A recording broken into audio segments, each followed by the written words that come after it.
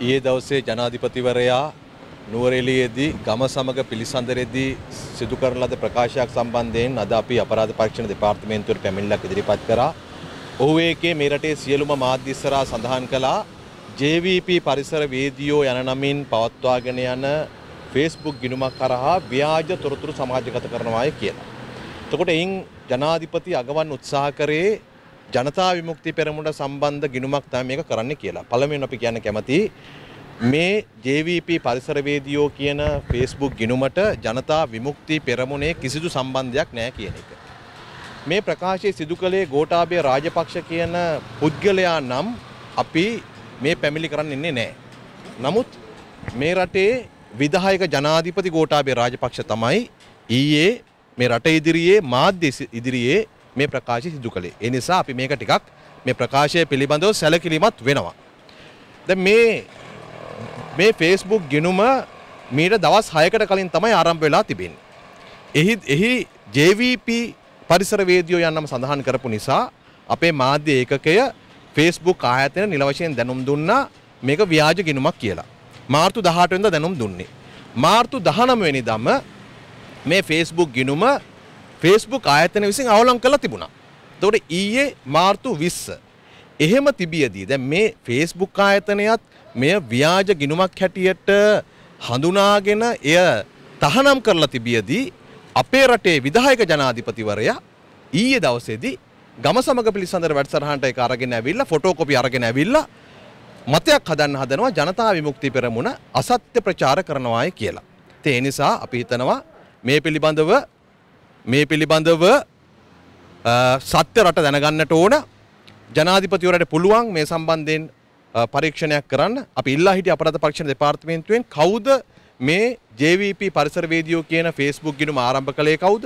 ඒ වගේම මේකට අපි දැක් අපිට ආරංචි ලැබිලා තියෙන විදිහට මුදල් දාලා ස්පොන්සර් කරලා තියෙනවා. එතකොට කවුද මුදල් යදෙව්වේ? ඒවා ක්‍රෙඩිට් කාඩ් නම්බර අංක හොයාගන්න පුළුවන්. එතකොට මේක පිටිපස්ස සිටියේ කවුද කියන එක පිළිබඳව අපරාධ පරීක්ෂණ දෙපාර්තමේන්තුව පරීක්ෂණයක් කරලා ඒ සම්බන්ධයෙන් රටටත් විශේෂයෙන් ජනාධිපතිවරයටත් දැනුම් දෙන්න ඕන කියලා අපි හිතනවා. මොකද ජනාධිපතිතුමාට මේක හොයන්න පුළුවන් කියලා කියන්නේ එතුමා යටතේ තමයි මේ රටේ ජාතික රාජ්‍ය බුද්ධි සේවය අපරාධ පරීක්ෂණ දෙපාර්තමේන්තුව ඇතුළු බුද්ධි අංශ 8ක්ම තියෙන්නේ.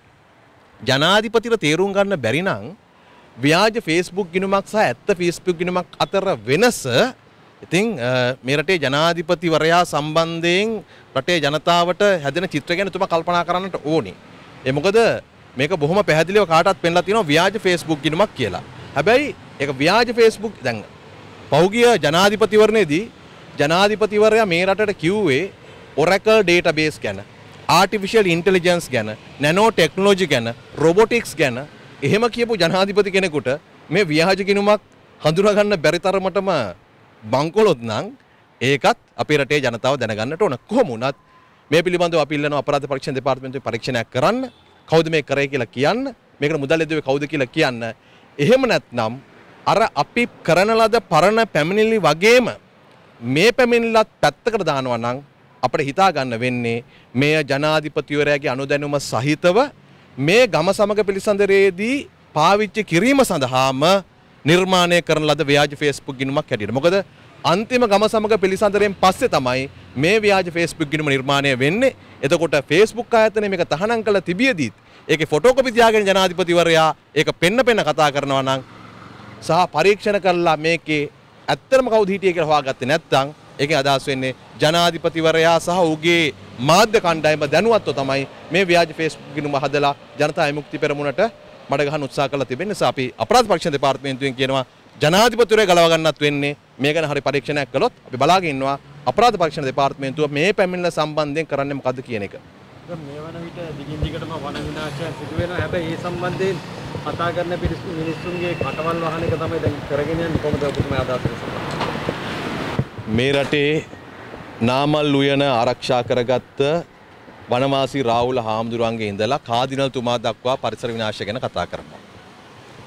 ඒ වගේම මේ කොළඹ හතේ ඉන්න දරුවෝ සහ තරුණයොත් එක්ක ආදිවාසී නායකයාත් පරිසර විනාශය ගැන කතා කරනවා. ඔටාරා ගුණවර්ධනත් වගේම රක්වාන් ඉන්න භාග්‍ය අබේරත්නත් මේ පරිසර විනාශය ගැන කතා කරනවා. ඉතින් මේ රටේ හැමෝම විවිධ වෘත්තිකයෝ විවිධ තරාතිරම් වල විවිධ ප්‍රදේශවල විවිධ ආගම් ජාති වලට අයිතියි පරිසර විනාශ ගැන කතා කරනවා. මේ ඔබ- මේ ඉස්සරහා ඉන්න නාලිකා සියල්ලම පරිසර විනාශ ගැන කතා කරනවා. ඉතින් එහෙම තිබියදී ජනාධිපතිවරයයි ආණ්ඩුවේ ළඟම ඉන්න කවයයි ඔවුන්ගේ අර කුලියට සමාජ මාධ්‍ය හසුරුවන අයයි විතරක් කියනවා පරිසර විනාශයක් වෙන්නේ නැහැ කියලා. ආණ්ඩුව ගස් කපනවා විතරක් නෙමෙයි ගස් කැපීමට එරෙහි අයගේ ප්‍රජාතන්ත්‍රවාදී අදහස් ප්‍රකාශ කිරීමේ අයිතියක් කපා දමින් තමයි ඉන්නේ. ඉතින් අපි ආණ්ඩුවට කියන්න කැමති මිනිසුන්ට ඇස් පනා අපිට පේන දෙයක් තමයි මිනිස්සු කියන්නේ. පක්ෂපාත ભેදයෙන් තොරව හැමදෙනාම ඉල්ලනවා මේ වනාන්තර ආරක්ෂා කරන්න කියලා, පරිසර ආරක්ෂා කරන්න කියලා. අද ලෝක වනාන්තර දිනය ඉතින් මෙවැනි තත්ත්වයක් ඇතුළේදී අපේ රටේ සිද්ධ වෙන මේ ශීඝ්‍ර පරිසර විනාශය සම්බන්ධයෙන් අ, ආණ්ඩුව මැදිහත්වීමක් කරන්නට ඕන පරිසර ආරක්ෂා කරගන්නට. මොකද මේකට මේ තත්ත්වය රට පත් වුණේ ආණ්ඩුව ගත්ත අමනෝච්ච ක්‍රියාකලාපයන් නිසා. ඒ නිසා වහම ආණ්ඩුව මැදිහත් වෙලා මේ රටේ පරිසර ආරක්ෂා කරන කටයුතු කරන්න ඕන. පරිසරය ආරක්ෂා කරනවා වෙනුවට ආණ්ඩුව අ, හොර ජාවාරම්කාරව ආරක්ෂා කරන්න යනවා නම් ඒක රටේ ඉතාම අභාග්‍යයක්. ඉතින් අපි පක්ෂයක් හැටියට අ, මේ රටේ පරිසරයට ආදරය කරන හැමදෙනාගේම ඉල්ලා හිටනවා පක්ෂ ભેදයෙන් තොරව අපි එකාවගේ අත්වල් බැඳගෙන මේ රටේ ඉතුරුලා තියෙන පරිසර පද්ධතිය ජෛව පද්ධතිය ආරක්ෂා කරගන්න ඉදිරියට එමු කියලා. දිස්ත්‍රික් සම්බන්ධීකරණ කමිටු රැස්වීමේදී අ, දේවානි මහත්මියට මේ පාර්ලිමේන්තු නැති ඇමතිවරු කීප දෙනෙම වට කරගෙන එතුමියට පහර දෙනවා මේ රාජ්‍ය නිලධාරීන් මේ වගේ තත්යකට රට යන තත්ත්වය ගැන එතුමාගේ අදහස් කොහොමද? ඇත්තටම ජනාධිපතිතුමා පත් වෙලා අවුරුද්දයි මාස 4යි. අද ට්‍රක්වානේ භාග්‍ය අබේරත්න 19 හැවිරිදි තරුණියටත් අර රජයේ සේවිකාවක් වන දේවානි ජයතිලකටත් පුළුවන්කම ලැබිලා තිනවා ආණ්ඩුවේ නිර්ගෝත එළිදරව් කරන්න.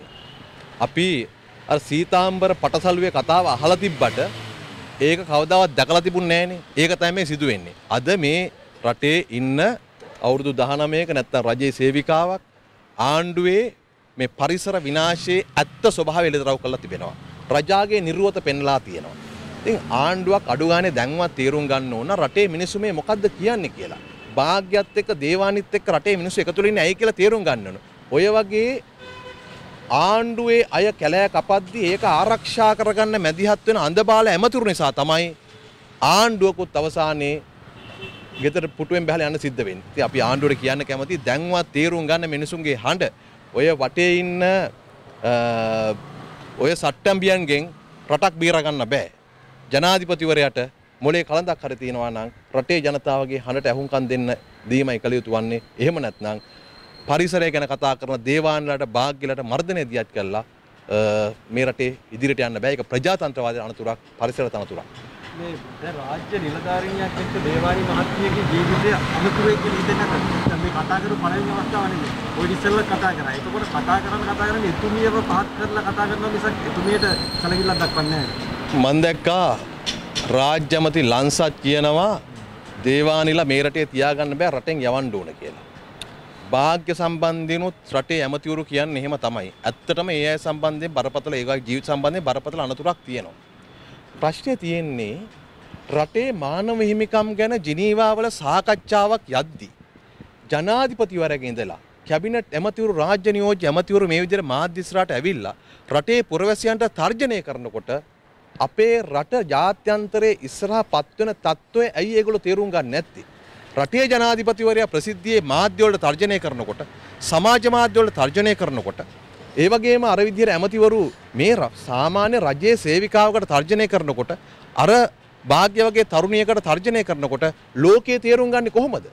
අ- මේ මානව හිමිකම් සම්බන්ධ චෝදනා එල්ල වෙලා තියෙද්දිත් ජිනීවා සමුළු යද්දිත් මේගොල්ලෝ හැසිරෙන්නේ මෙහෙමනම් ඒ කාලේ කොහොම හැසිරුණාද කියලා ලෝකෙට ඇත්තට ප්‍රශ්නයක් එනවා අපිට ඇත්තම සැකයක් තියෙනවා ආණ්ඩුවට උවමනාව තිබෙන්නේ මානව හිමිකම් කඩ කරනවා රටේ ජනතාවගේ ප්‍රජාතන්ත්‍රවාදී අහිමි කරනවා කියලා ජාත්‍යන්තර බලපෑමක් මේ රටට ගෙන්නාගෙන ඒ ඔස්සේ තමන්ගේ දේශපාලනය කරන්නද කියන බරපතල සැකයකුත් අපිට තියෙනවා මේ වගේ වීඩියෝ දිනපතා නරබන්න අපේ චැනල් එක සබ්ස්ක්‍රයිබ් කරන්න.